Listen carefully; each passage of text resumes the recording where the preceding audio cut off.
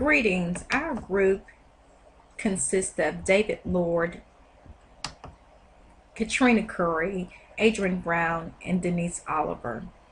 We chose our presentation to be on Camtasia 8. And while that's loading, I'm going to just um, let you know that we're just going to go over the essentials and basics of Camtasia Studio 8 TechSmith is the authors and creators of Camtasia Studio 8 and uh, Snagit. So let's begin.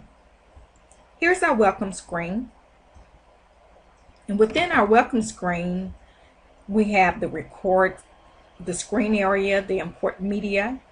And if we have any recent projects, they'll show up initially in this window.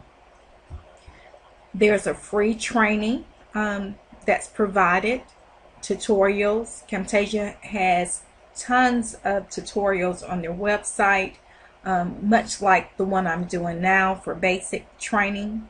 Uh, Camtasia Studio Help, technical support, documentation.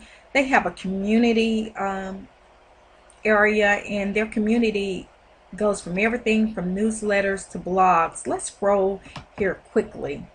They have the social media blog, um, the social media community where uh, friends uh, follow them and um, they provide inside scoop. Um, they give releases, new releases, time saving tips, giveaways, and things of that nature. Uh, the community, there's newsletter that get uh, product announcements, cu customer stories, free tutorials every month, emailing um, inbox without all the fluff and um, all those ads and spam and things. And so the community also exists of education community, step-by-step tutorials for integrating technology and learning, inspiration and ideas, education blog, um,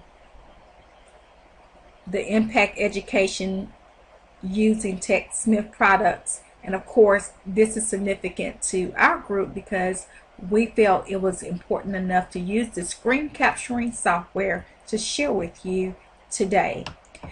Well, much like as I close the window, much like um, the other softwares that we use like Word and uh, PowerPoint, there's a ribbon. And with the ribbon, it's familiar um, tools like File, Edit, View, Play Tools, and Help. But within this dashboard or ribbon, uh, of course, because this is a screen capturing and video editing tool software, that it's, it's going to be some differences. So let's look on our file. There's the new project, open project, recent projects, um, save project, save as, produce and share. And it also gives you these uh, quick tools, quick shortcuts like control P means produce and share, um, and as we continue to go down the file, there's the import media, recent recordings, library, imported zip project, and exit. Edit tools, of course, similar to our Microsoft Office and uh, PowerPoint, the undo, redo, cut, copy, and paste. Unlike other softwares, there's the remove from the timeline, remove from clip bin, which those uh, the clip bin contains our videos and different clips that we may have split. Uh, we can split videos, split all, split individually, uh, add to library, extend frame. Of course, when we talk about frames, that's video. Uh, that's video footage. We can take um, a frame and extend it uh, for a longer duration. Uh, clip speed, we can speed up a certain part. Say um, I've done makeup tutorials um, I have done um, tutorials where we're cooking or we're demonstrating something. And I'll fast forward certain areas because um, it may have taken three or four minutes to to whip up a meringue or um, in cooking rather or um, in a craft project, it may have taken a long time with the wrench to tighten something. So I would speed that up. The image duration, of course, it, it is what it is. Uh, image, how long will it take? Um, can I shorten it? Can I make it uh, more lengthy? generate keystroke callouts, captions, markers, smart focus. And you can add the smart focus to apply to uh, single clips, uh, certain clips, selected clips, or apply to the entire timeline. View, there's a clip, clip bin like we spoke about before where we have our videos located. Library, show marker view, show quiz view, hide captions, project, canvas, timeline, time snapping. Okay, and let's go to the play. Um, we can play from the beginning, we can play from the center, um, play in different um, directed places that we have, play, um, stop, step backward, step forward, jump to a beginning, end, previous clip, as I was saying before, next clip, previous marker, next marker. Here's our tools. Um, our tools are very important because we can use the uh, record to screen option and we can record PowerPoint. We can, it'll pop up the PowerPoint option. I'm going to close that quickly. Okay, now I have stalled it. Let me wait for a moment. I did want to show that. We can back to our tools. We have voice narration, record camera, audio. We can zoom and pan within our uh, clips visual properties, cursors. We can make those cursors a different color, whether we want it orange or yellow or blue. We have callouts. Transitions are much like the transitions we use in PowerPoint where we use the blind, the checkered board uh, transition, things of that nature, the gradients and things of that nature. Captions, quizzing, studio tools. Of course, that's back to the recorder, the player. Screencast is specific to Camtasia because it's by TechSmith. It's a platform that they have chosen to where we can use and share and produce our um, videos or our tutorials or, or whatever we're choosing uh, for our web-based instruction. Uh, sharing, uh, we can use batch production, upload media to FTP, which is simply uh, using web-based files where we upload to uh, the, the web uh, speech, speech properties, options. Okay, I want to get to this portion quickly. Uh, record the screen. Um, we can record the PowerPoint as I shared earlier. We can import media. I'm going to import media from a drive that I have, my jump drive and I'm going to go select a video clip.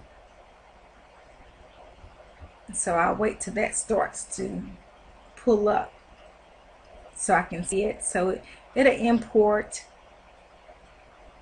and let's check out the produce and share. The produce and share, we of course the screencast is significant, uh, specific to TechSmith and uh, Camtasia, as I was saying earlier, but we can share YouTube. But there are also other options, and we'll take a look at that um, further on, where you can produce to MP4, mobile devices, things of that nature. So, say I want to bring this clip down to what we call the platform or the track. I'm going to bring that down um,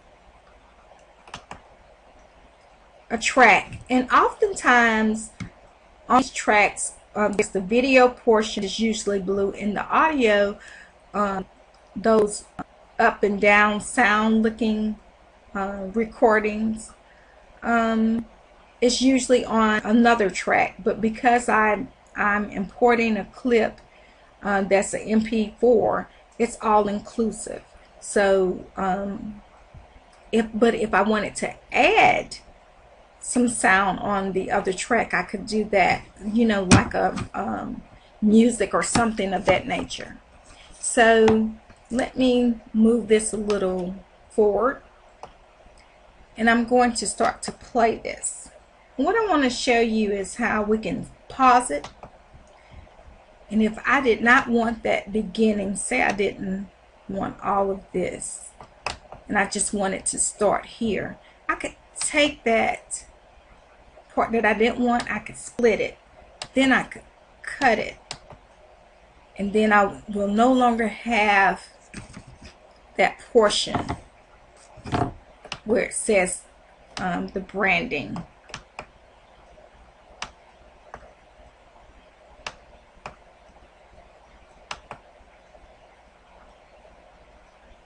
And it would start right from the animation that I have My name earlier. is Katrina Currie, and I will be your so let's say I wanted to add a call out.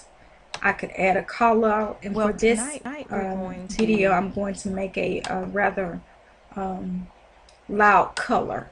I want to fill that with a loud yellow, and I'm going to have a very blue um, border. I'm going to use the effects to flip it horizontally and it's going to point in my video to here to the PowerPoint option in this area.